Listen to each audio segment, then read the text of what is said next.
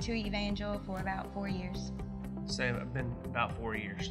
Um, I grew up coming to Evangel. My parents brought me every Sunday and Wednesday nights, and um, just I came until I was about 18 years old, and I moved out, and that's when I just I quit coming. I grew up uh, from birth, you know, in church, um, and was in church most of my life.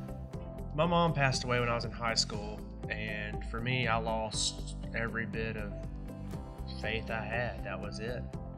Well, I was outside of the church. I um, I got involved with crowds I shouldn't have been. Um, gotten relationships with people I shouldn't have been in, and I uh, I didn't go to church, but I, I prayed regularly. I, I prayed to, to get out of it, to figure out how to get out of it, but I didn't really feel like I could get back into church because I had been gone for so long. So I knew he could save me, I just wasn't sure how. Andrew and I were uh, were living together, and my parents had been taking my children to to church uh, every Sunday and Wednesday, like they did with me. And they would ask me to go to church all the time, but I, I wouldn't go. And uh, finally, one Sunday, they asked me to, to come back to church, and I knew it was time for me to, to go. And, and so I agreed, and I, I went one Sunday, and just I loved it.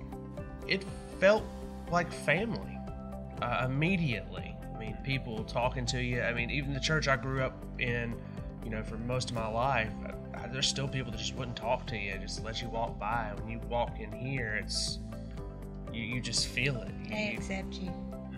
Can always come back. You can always feel the love of God. You, you can, it, it'll change you. It will. I mean, yeah, what, what's it gonna hurt to to come and, and try a church out when you're going through tough times, going around positive people can't make it any worse. But it's it's definitely the best decision we've ever made was to come back. Ever.